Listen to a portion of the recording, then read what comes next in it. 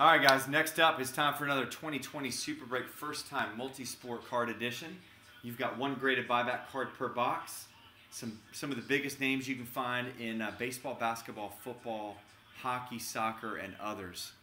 So this is a random last name letter break. So every spot gives you two random last name letters.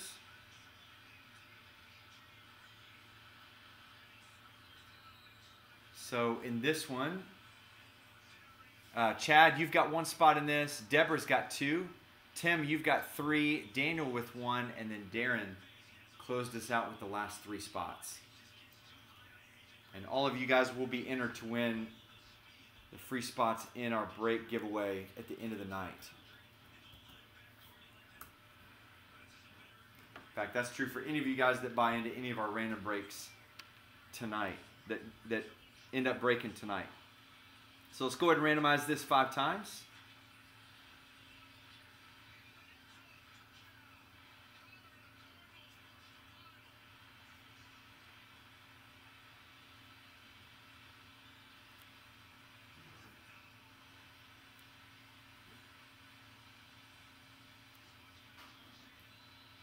Where the heck does James Conner come from?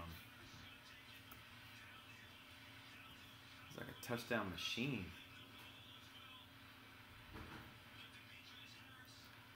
All right, so five five uh, times on the random on this as well, and then we'll match them up with the letters.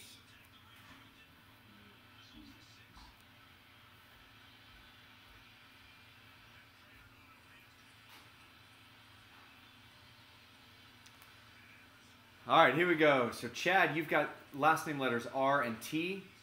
Daniel's got A and M.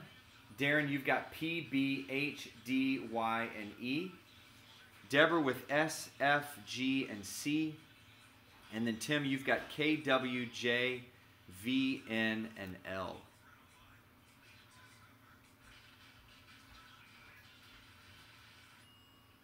All right, so there are your letters.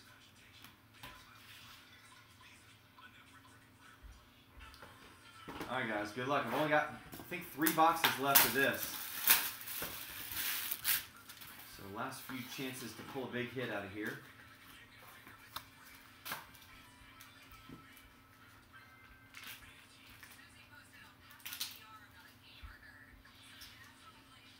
All right, dude, here we go. Got 2019 Bowman Kolby Allard. It is the Bowman Rookie Chrome Gold Refractor PSA 9, and it's numbered 1 out of 50. So that will be last name letter A, which is going to be Daniel. So Daniel, not bad for 15 bucks there. I know he's, I don't know who he's with now, Texas or something. But if he ends up, I think he was a top draft pick, first round draft pick. Yeah, 14th overall. So see if he can put it together. Could be a nice card if he does. So we'll get that card in the mail tomorrow. Appreciate you guys joining us on this. We'll do our next box of this coming up next weekend. So it'll, it'll be on the website coming up here over the next day or two.